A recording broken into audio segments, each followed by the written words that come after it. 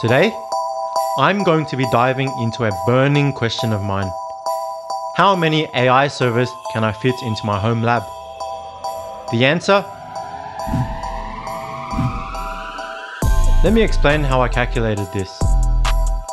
For context, my side hustle Headbot makes heavy use of AI servers. Each of these specialized servers have an NVIDIA RTX 3090. I know what you're thinking. What is this fool doing with all these GPU servers? I've been working on a side hustle called Headbot. Headbot uses AI to give my customers sculpted physiques unattainable through gym alone. The results?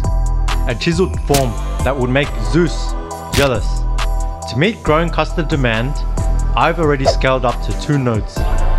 Assuming Headbot's continual success, this is why I set out to answer this question.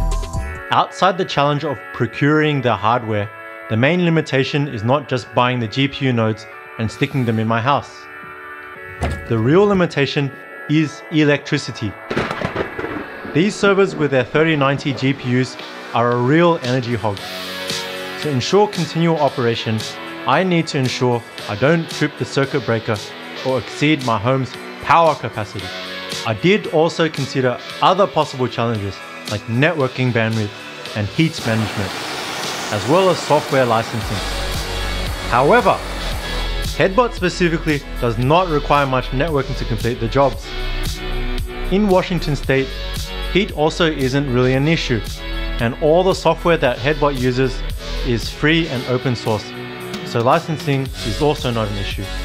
Since we're going to look at power, let's break down the components that build each of these machines, and I'll add up how much power they consume.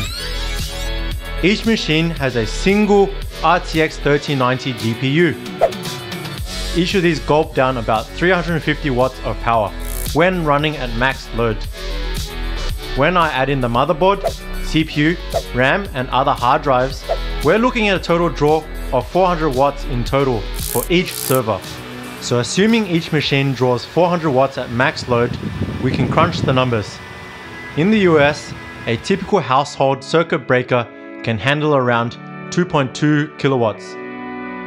That's 5 AI servers. And on top of this, a typical circuit breaker panel has about 30 circuits. Working backwards, this gives me 150 servers.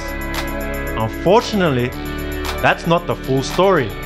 While I was doing some more research, I came across another limitation. The limitation is your electrical service.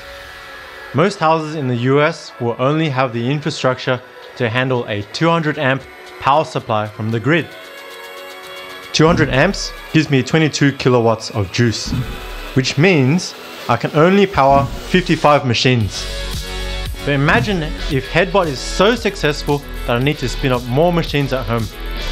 I did some digging and it would cost me roughly 3 to 5000 USD to upgrade my infrastructure to get a 400 amp service. This would effectively give me 110 servers. If you want to support the channel and help me get to 110 AI servers, consider getting a head job at Headbot. For a limited time, we're giving away a few free head jobs so you can gift them to your friends. So there you have it. The real bottleneck is my home's power capacity. From a dreamy 150 to a more realistic 55 servers.